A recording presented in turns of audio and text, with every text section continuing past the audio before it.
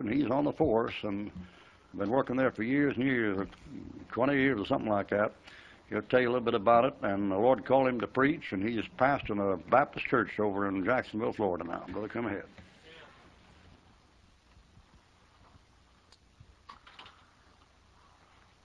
Well, first of all, I just, I'm just so grateful that Brother Pete.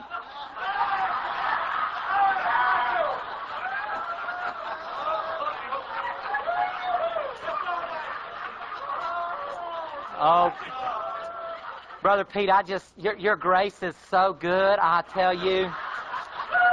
You know, both, most of the places that I go, they just don't have enough grace to have me in, and they make me so mad I could just squeeze a grape. And I, oh, Brother Pete, you're so gracious. I, I thought about just having you and your wife come up here after I built a little altar of song books, you know, and I was going to talk about the right foundation, brother, and I was going to have you and your wife come up and have everybody hug you and tell you how much they love you.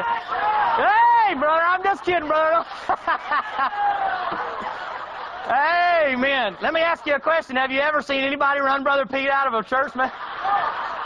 Hey, brother, I thought you said the best way to take a whipping was to sit down and take it. Amen. I don't want y'all to get too carried away. I had to do that because I'm scared slapped to death. I'd rather kick a door down right now than to be standing up here Of course, the reason for that is, is some of y'all don't realize you, you don't see what I see and what some of these preachers see when they when they stand up here. See, we we see we see people's souls dangling out over hell, and we see eternal rewards burning up in a fire. And see, you can't see that sometimes because you got so much stuff in between you and Him. And so you don't understand that it's time for serious business when the preacher steps up here. And that's one of the reasons I get a little nervous and my palms get to sweating. I get used to kicking indoors. Amen. I, I, that don't bother me anymore because I know exactly what I'm doing, exactly where I'm going, exactly how I'm going to do it. And if I'm going to have to do something bad and kill somebody, I ain't got no problem. I know what I'm going to do. You step up in a pulpit, especially one like this right here, you never know what God's going to do. And it's a little bit frightening. It's a little bit frightening. We hope it will be a blessing to you this morning and a help to you. Take your Bible, if you will, and turn to Matthew chapter number 27. Matthew chapter number 27. I want to look briefly this morning at the crucifixion of the Lord Jesus Christ. What a man this man called Jesus. He was able to take an awful lot. The Bible says in Matthew chapter 27, verse number 27 Then the soldiers of the governor took Jesus into the common hall and gathered unto him the whole band of soldiers, and they stripped him. They put on him a scarlet robe. And when they had platted a crown of thorns, they put it on his head, and a reed in his right hand, and they bowed the knee before him and mocked him, saying, Hail, King of the Jews! And they spit upon him. And they took the reed, and they smote him on the head. That ain't no little piece of wheat there that they smacked him with. Malachi will tell you what that is. It's a rod. And after they had mocked him, they took the robe off of him and put his own raiment back on him and led him away to crucify him. Father, we ask your blessings upon this message this morning, Lord. I just ask that you'll give me the special unction of the Holy Spirit, Lord, that you'll fill me up, Lord, that you'll allow them to see Jesus this morning. God, I ask you help them to see what you did for us on the cross. God, I help that, ask that you'll just open up their hearts and blow the wax out of their ears this morning, Lord, that you'll help them to, to be able to receive what's preached this morning. God, that nothing will come out of my mouth that would be inappropriate, Lord, that make you ashamed or embarrassed. God, that I might be a, a witness and a testimony and a pure vessel. In Jesus' name, amen. The Bible says in Colossians chapter 2, number, verse number 14, turn your Bibles over there. I want you to see something here and try to get a little bit of a, of a different picture. Colossians chapter 2, in verse number 14, you're very familiar with this. The Bible says this is what Jesus Christ did for us on the cross, blotting out the handwriting of ordinances that was against us, which was contrary to us, and took out the way, nailing it, the ordinances, to his cross. And you say, well, now, wait a minute, Brother Dave. He didn't nail anything to the cross. A lot of people try to take that and say, oh, well, that was the thing that was over his head. No, the handwriting of ordinances was contained in Jesus Christ. He is talking about nailing himself to Christ. The Bible says repeatedly all through the Bible, but the Bible says in the beginning was the Word. The Bible says the Word became flesh and dwelt among us. The Bible says repeatedly, the Scripture saith. And the point that I want to make to you today is, is literally speaking, is this not really Jesus Christ Himself? I mean, contained in these pages is the Word of God. Amen? This is the mind of God. If you want to know God, what do you do? You pick up a King James Bible and you say, I want to know the Word of God. So you pick up that old black book, that old, as y'all called it, 66 caliber, right? And you pick that thing up and you, you, you, you say, Boy, I got that thing down, and that's the Bible, and that's God's mind. Right? Y'all going to have to help me a little bit this morning, okay? This is the Word of God. So, in effect, it is God. Do you really believe that all the words of God are pure words? Tried in the furnace of fire, furnace of earth, uh, seven times. Amen. And forever thy word is settled where? Well, but where's Jesus at? You getting the picture? So, in actuality, is that not Jesus Christ? That book right there? Well, the Bible says that they did some unusual things. You know, I, I, I realize that beliefs determine actions, right? Your beliefs determine your actions. I tell you what, I thought this place was sort of loose. I mean, am I am I off on the wrong base here? I, I can't stand a hypocrite, can you? If you believe this book right here, you'd live that book right there. You know what the Bible says? The Bible says that they took Jesus and they stripped his robe off. Oh, what's the matter? Uh, it's okay if we do that with the Catholics, Mary, ain't it? You know, throw a rope around her and drag her around. Huh? What's the matter? Listen to me. Every time you don't live by what you preach, you strip the robe off of Jesus Christ. What's the matter? That's a book. That's Jesus Christ. Who do you think put him on the cross? Every time you strip the robe off of Jesus, and you know what you do? You put on your own robe. And your own robe is a robe that says something like, Ichabod, the glory hath departed. The Bible says that one of you brothers got one of them big bandanas. One of you brothers got a handkerchief. Amen. What the Bible say? The brother, the, the Bible says that what they done was is they toted him down yonder and, and they put him in the in the thing and they blindfolded him, didn't they? I don't know if this thing's going to fit. Didn't they blindfold him? Boy, it's quiet in here now. Oh, boy, it's quiet in here now. Oh, a lot of liberty here, Brother Dave. Yeah, preach, Brother Dave. Bless God. You know what makes me puke? You talk about having a bad attitude. I got a bad attitude towards Christians who don't live what they preach. Who run around King James Bible believer, Brother Dave. I believe the Bible. Oh, you do, huh? The Bible says they blindfolded him and then they smote him. And they smote him. Well, how do I smote him, Brother Dave? I don't know. Let's, let's talk for just a minute what you do in your living room at your house. You know, when you, when you turn on that box, I got to get a, a note or two up here because I wrote something down that'll help you to understand how you smote him. You know, you got that box in your house. You say, "Well, brother Dave, we've heard all that all that preaching on the box and the TV and all that other kind. We don't need to hear that here, brother Dave. That's why you still have it. You're mocking him. You're a stinking hypocrite. You said you did not like hypocrites. Amen? You know why people don't like this King James Bible? Because you don't live this King James Bible. You talk about believing this King James Bible, but you don't live this King James Bible. You know what? It just tore your guts out when I pulled the cover off of that thing. well, at least I'm using mine. Yours just sits on the dresser.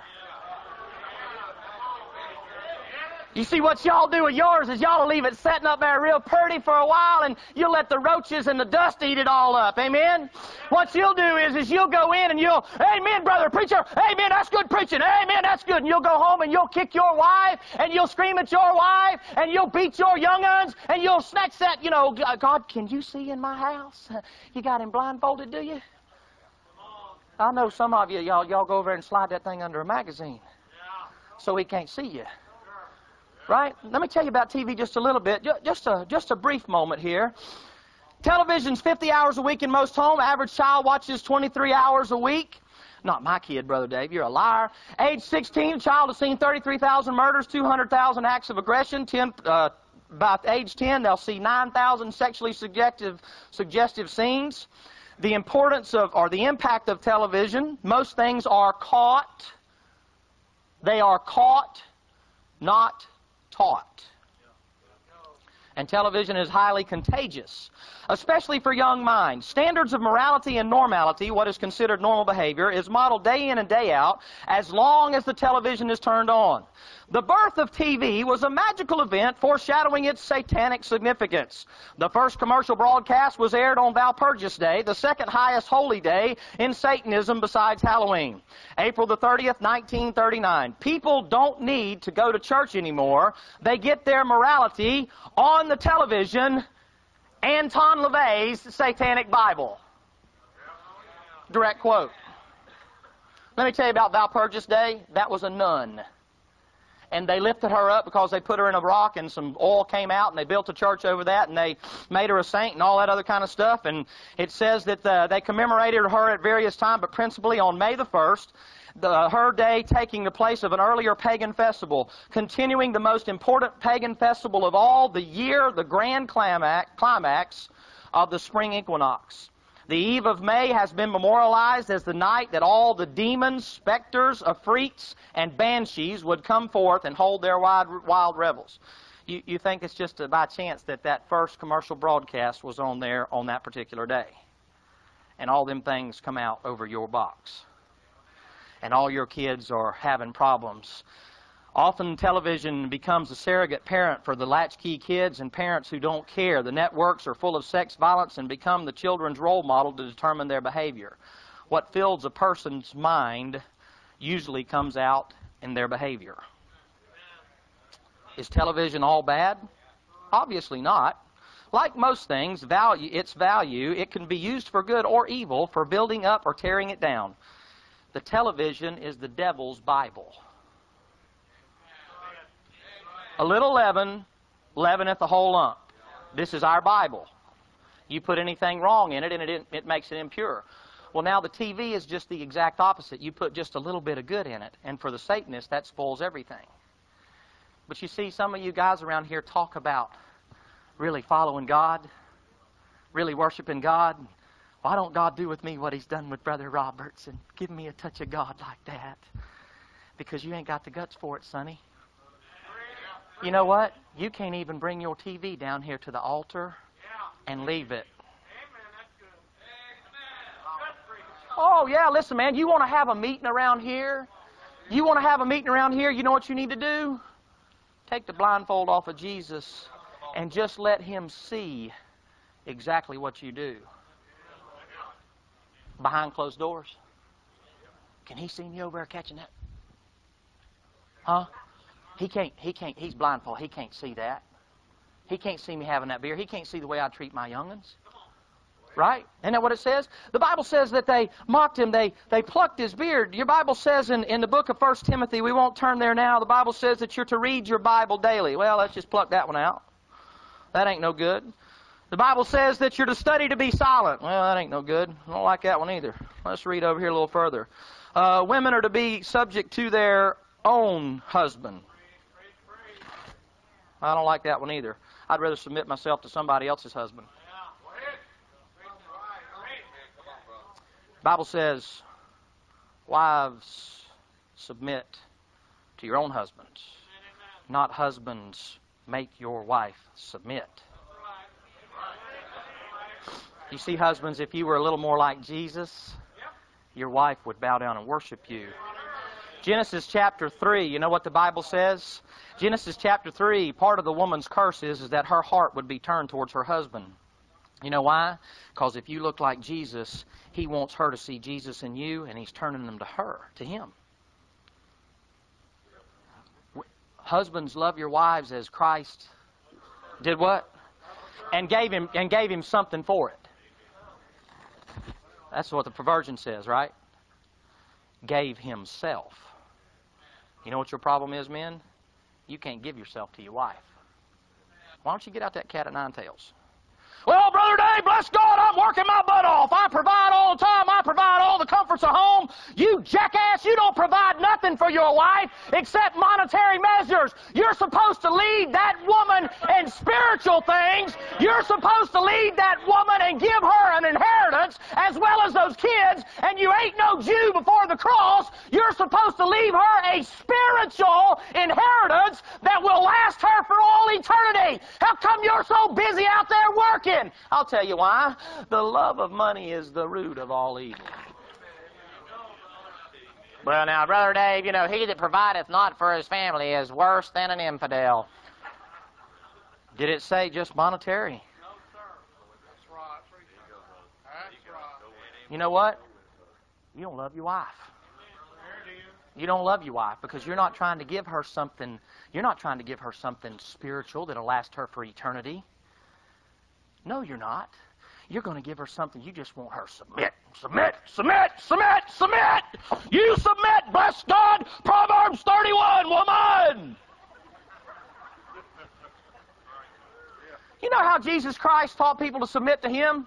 He went around all the time saying, I am Jesus Christ. I am the King. I am He that came to seek and to save. I am He that is to be the leader. I am He that is the King of all the earth. I created all of you. Is that what He said? Jesus Christ had all power, all authority, and all rights to use that power and authority. And He stands before authority, and He stands before Pilate and goes, You ain't got no guts, sonny. You ain't got no gut. Now, before you get ready to come running up here, you know, and, you know, uh, bless God, Brother Dave, I'm going to, you know, you're tearing up my book. No, I'm tearing up your heart. You want to know why that Word of God right there is a mockery to your kids? You want to know why your kids live like the devil? You want to know why you stink like a dead possum in the sunshine? You want to know why you stink? Because you don't live what you claim to live. That's why. Bless God, my children are a rebellious bunch of kids. You rebel against that book right there. And every time you do, you know what you do? You just yank out that cat of nine tails. You know what the you know what the Romans did with the cat of nine tails? The, the way they got around it, they only whip them 39 times. But the Romans are like us. Amen? The Romans are like us. You know how they Gentiles. And so they got real divisive. They said, well, we can't whip them but 39 times, but if we add 9 or 12 tails to this thing, you know what we can do? Boy, we can do some damage. We can cut that thing to ribbons little bits of flesh, just a little at a time. Just tear that thing up. Oh, not me, Brother Dave. I believe the King James Bible is the Word of God. I thought belief determined actions. Forsake not the assembling of yourselves together. Study to show thyself approved unto God. Just tear it up. Right? Now, wait a minute, folks. You said this was Jesus Christ, did you not? Are you sure you don't have him down in the basement right now whooping him? Are you sure it ain't your fist? It's who hit you, Lord? Who hit you, Lord? Who hit you, Lord? That's exactly what you're doing. The Bible says that if you love Him, you will keep His word. What's your problem? Why is it that when the preacher sat, you know why they don't preach on TV no more? Because they got one in their living room. Amen. Well, now, Brother Ruckman, he does he does videos now, and it's okay for me to watch videos. I'll bet you if you ask that man and if them videos are causing you to watch that box more than getting that book, you know what I bet he'll tell you?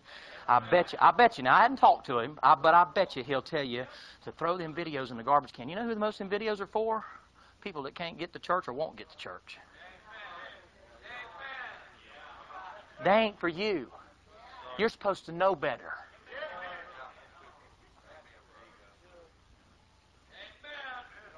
Let me, let me ask you a question, men. I mean, you know, you stop and think about it. What does it say over there in 1 Timothy? The women are to be shamefaced and not with embroidered hair, and, and they're not to deck themselves out with gold and all that other kind of right. What does it say? Yeah, well, no, I, wait a minute, Brother Dave.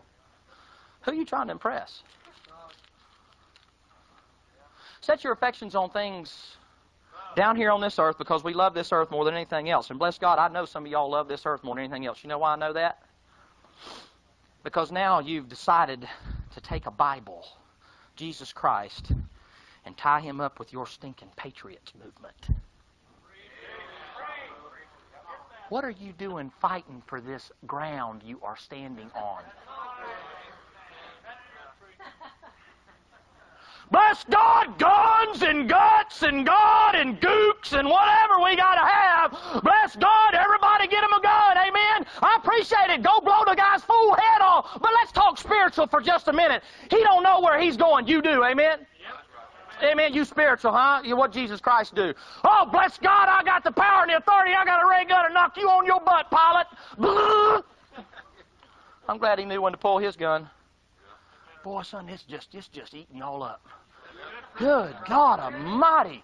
What am I? What's the matter? Am I tearing up one of your little icons, one of your little idols? What's the matter, man? I'm not tearing up nothing you don't tear up every day by not living it. Well, bless God, Brother Dave, we're founded on Christian principles. You know why God ain't here in America no more? Because Christians ain't living it no more. And I wish you'd get your stinking nasty paws off of it and let them just go ahead and take it over, because the quicker they take over, the quicker you'll repent. Oh, but no, brother, you want to take that sword and get in the flesh, boy. Hey, let's get the flesh, man. The flesh, the Bible says, the Bible says, the Bible says, yes, sir, let's get him, Brother Dave. And, and the Bible says, Ephesians chapter 6, we wrestle not against flesh and blood. So what happened was that the devil's down there going, look at that fool. He's down there preaching from his pulpit, and all he preaches about is patriotism, patriotism, fight the government, fight the government. Who cares about the queer in the White House? He ain't my king anyhow.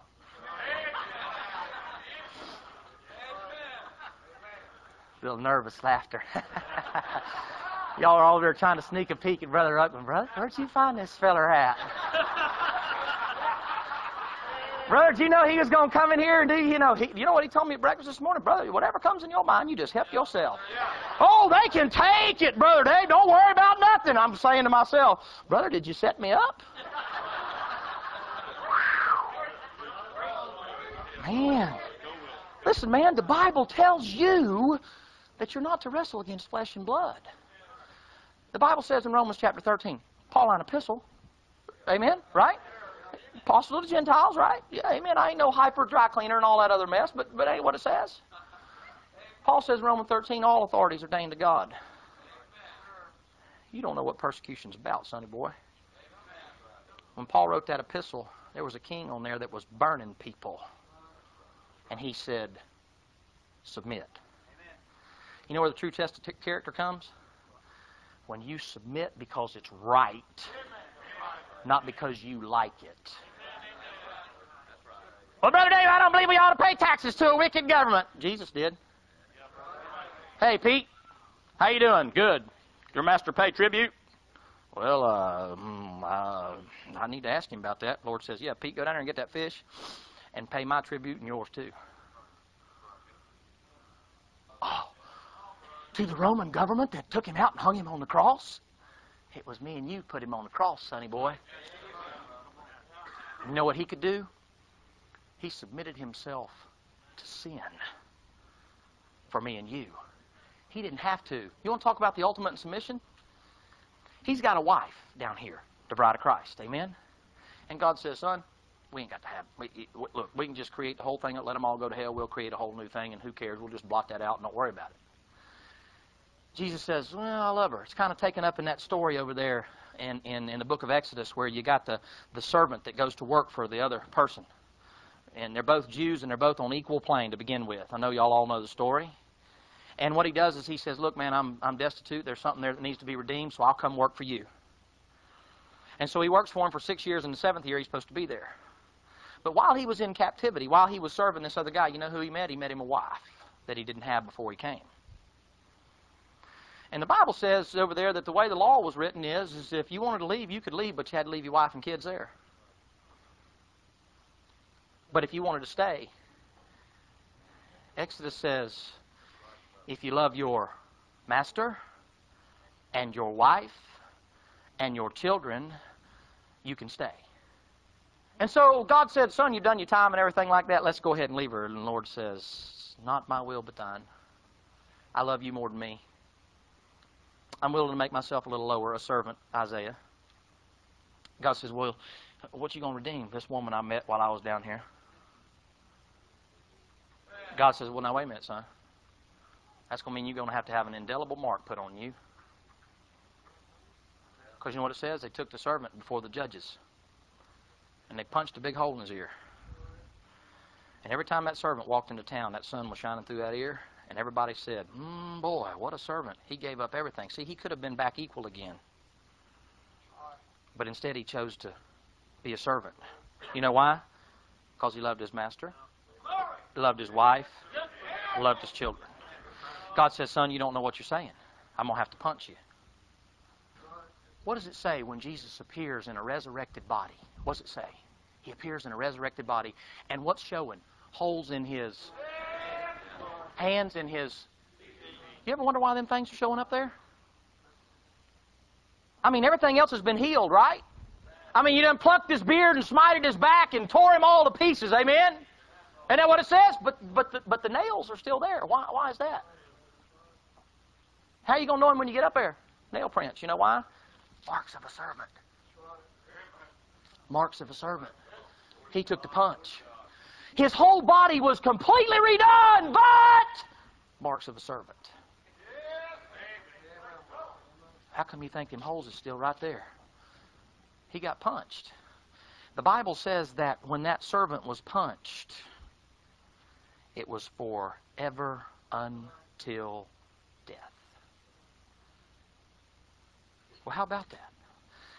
Another interesting thing begins to happen. They they get through and they put his robe back on him, and of course you know what happens when they put his robe back on.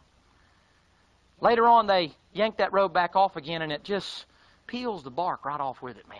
I mean it's just stuck. False repentance. False repentance. God, I really, I really do mean business, God. All my heart. I'm going to do right. You're like Ahab. You're like Ahab. Ben-Hadad says, I'm going to take you over. He said, I surrender. All, all. Ben-Hadad sends him the next day and says, hey, hey, tell him we coming to take all.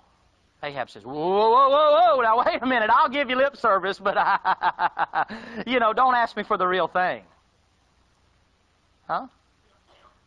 Yeah, y'all flood this altar, boy, and oh, God, oh, God, oh, God, and your kids go, puke.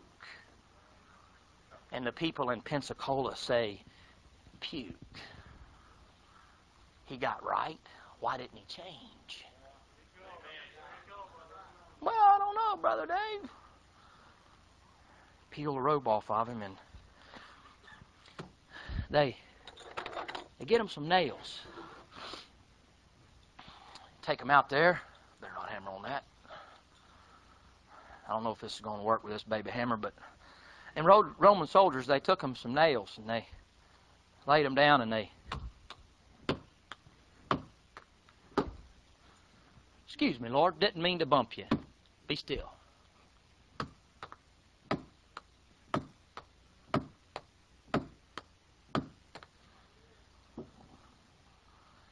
I won't drive all three of them in it, but you get the picture. Excuse me, Lord. My sin put that nail in your hand. Sorry about that. I was drunk in the flesh when I done it. Didn't know no better. Just sort of take it for granted, do you? When you don't live that King James Bible that you profess to love so much, bud, you crucify Christ. Oh, Brother Dave, it was my sin that hung him on the cross. Oh, Brother Dave, my sin put him there, and I'm so grateful for the blood. Beliefs and action. You know what you do? No further revelation. You close up the Word of God.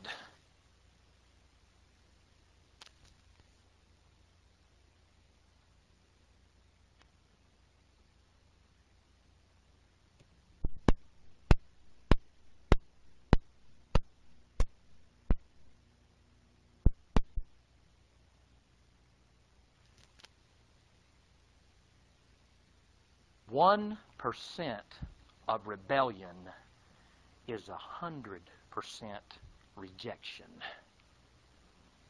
You rebel against the Word of God, you're rebelling against Jesus Christ. Now, some of these fancy preachers, they can tell you all about how that thing works, but that's His Word, is it not?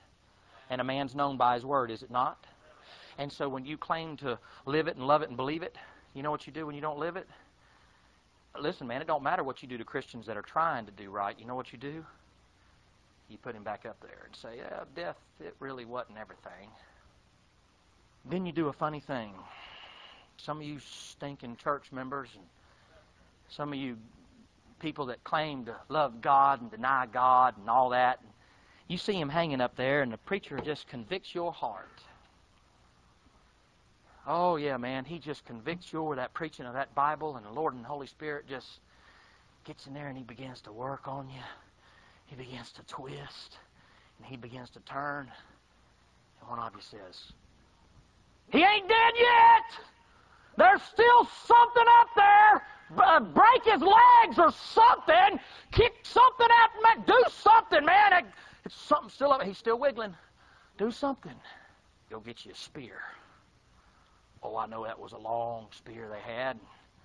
You find your place right there in his ribs where he's vulnerable, and you just right to his heart. Right to his heart. When the Holy Spirit comes to you and convicts you of sin, you grab that spear when you reject Christ and you ram it in his heart you break his heart. All these people telling me, oh, Jesus Christ, he was up on there and his heart broke and all the other kind of stuff. Man, his heart was broken or he'd have never gone to that cross. The Roman soldier stuck a hole in it. A Gentile. Paul's over there talking to the church at Corinth and he's speaking about the Macedonian church he was just in and he says, You stinking fleshly church. Peacock perversion. He says, Them people over there in Macedonia are poor, and they're blind, and they don't have nothing, and they brought all they had. You know how he was trying to get the church at Corinth, the fleshly church, to get spiritual? It says they gave first of their billfold, right? Now don't get nervous and roll over on your billfold. It says they gave first of themselves. Well, what is your problem? I want to be spiritual, especially this weekend, Brother Dave. Oh, God, I want to be spiritual. They gave first of themselves before everything else happened. Brother Dave, I just don't quite understand the message you're trying to preach to me. What part don't you understand? The whole point of my message is is you profess to believe it, but your actions show me you don't. Every word of God is pure, Brother Dave. Bless God, I'm a Bible believer. Why don't you act like it? Why don't you act like it? Just what exactly is it that causes you to do that? Who's Jesus Christ? You ever been spit on before? Spittle is one of the most vile, nasty human things that can ever be done. Over 600 spit on him. Hang on the cross, Jesus. I could care less. Just sit on the book stand, Jesus. I could care less. Just stay over there in the corner, Jesus. I could care less. Every time you make an excuse, you're hammering a nail. I don't care, Jesus. I'll do it next week, Jesus. I'll get right next week, Jesus. I ain't in no hurry, Jesus. In my time, not your time, Jesus. Lord, I don't want to submit to that old guy, man. I tell you what, he's rude, crude, and ill mannered. Uh huh. You're going to stand in front of Jesus Christ and say, So was Pilate. What's your problem? What's your problem? Bad attitude, Baptist blowout. I got a bad attitude towards independent, fundamental, missionary, Bible believing Christians that stink. You stink. You're a stench in the nostrils of God. You stink more than the worldly Christian. I mean, than the worldly, fleshly sinner who don't know no better. better. You got Bible. You got Jesus. You know better. You know what you need to do? You need to get you a big old flesh hook and you need to stick it in that thing and be like that Levitical priest and you need to drag it up here to the altar and your skin says, Whoa, I don't like that. And you need to stick it in there again, pull it back, and as that fire gets hot and it gets hotter and it gets hotter and that skin begins to shrink and that flesh draws up, you need to say, Come in, get back in the fire. He did. He did. He did. Well, Brother Dave, I got step youngins. I just don't believe I ought to have to love them like I ought. You know, Brother Dave. Well, let's see. Jesus Christ was God's only Son. And He loved me enough not to send me to hell and send His own Son instead. Oh. Suck the wind out of your scales, there, sails there, sonny boy. Tough Christian, are you? I can get the roughest, Brother Dave. Just, just lay it on, Brother Dave. Listen, man. Let that priest that's in you, Jesus Christ, bring you to the altar. Now, listen to me. In a lot of Bible believing churches, we we're good at working on the outside, you know? You know, oh, well, bless God, Brother Dave. I'm going to give this up. I'm going to give that up. I'm going to give this up. I'm going to give that up. And leaves a big old cavity. It says, work out, out, out your salvation. That way there ain't no cavities. The more you feed him, the more he grows and pushes that stuff out. No cavities, no room for rottenness. But you see, the Bible says over in the book of Leviticus, you know what it says? It took a priest who had to have everything pure and perfect to prevent, present that sacrifice. See, your problem is, is you present the sacrifice in the flesh. You tell, them, you know, everybody's looking at me, oh, Brother Dave, they know I've been smoking, drinking, cussing, chewing, doing all them things, not reading my Bible, not studying, not praying, not fasting. I've been working too much. I've been doing everything I shouldn't be doing, Brother Dave, and I need to just take it down there at the altar and get right. And the Lord's going, no, wait, wait, wait, wait, wait, wait. Let me take it. Let me take it. Let me take it. Let me take it. I'm pure. I'm perfect. I'm the one that's got the blood. Let me take that blood for you. Let me go up there. Take me. I'm the only one that can shield you from God's wrath and His indignation. I'm the only one that can give you the fire suit. Let me take you. No, no, wait a minute now, God. If I let you take me, appreciate that, Jesus. But see, if you take me, then I got to try to do right. I'd rather take it myself because that way I got room to repent, you know, later on again and, and then play yo-yo. That's what some young's do you yo-yo back and forth up here. It's a mockery. It is a mockery. It's a joke. Just driving hell. I ain't much on fancy fanfares. Can I get somebody to play the piano? Just a little liberty here to ask you a question. Have you taken... Can I borrow that, brother? I promise I won't tear it up. Pretty well wore out. Have you crucified Christ? He died on the cross for you. What, what, what have you done? Have you, have you ever, ever seen it like that? You make a mockery out of it. You profess to believe something, but, but listen, man, you can tell people you believe it all day long. If you don't live it, bless God, you know what? They think it's a joke. How about it? Come on down to the altar and let that priest make a sacrifice for you. Don't whip him again. Don't whip him again. Don't drag that whip across him and yank it across that flesh. Come on, Christian.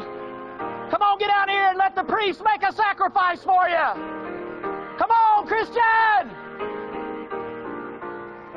He'll forgive you. He'll take that blood, and make a pure sacrifice for you. Let it be true repentance.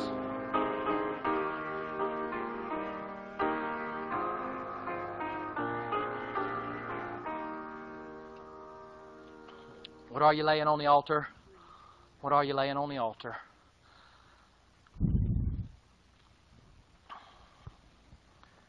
Find you a place, sis. Just get down right there in aisle. Just so the Lord knows you're getting bit doing business. Anybody else? Anybody else?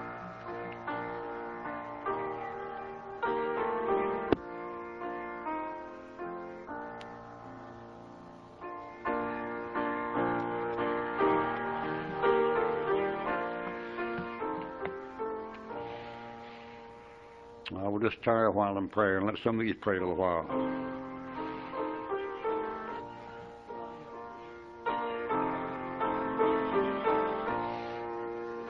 I beseech you, brethren, by the mercies of God, to present you a body,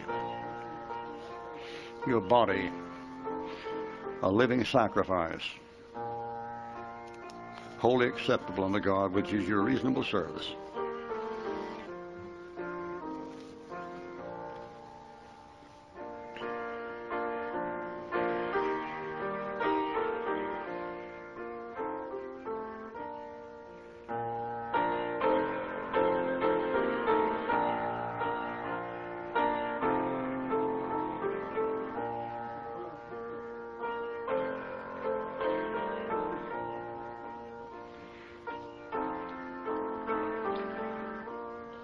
Praying, let's have the congregation stand and sing 375. While these are praying, 375. I gave my life for thee, 375.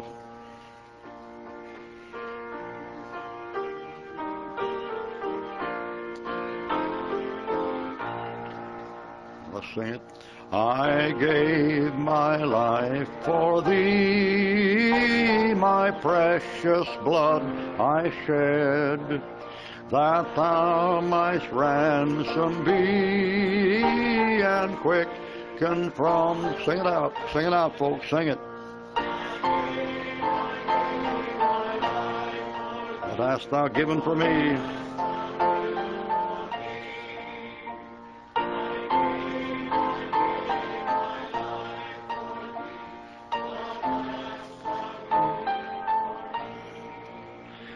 my Father's house of light, my glory encircled throne. I left for earthly night, for wandering sad and lone. I left, I left it all for thee.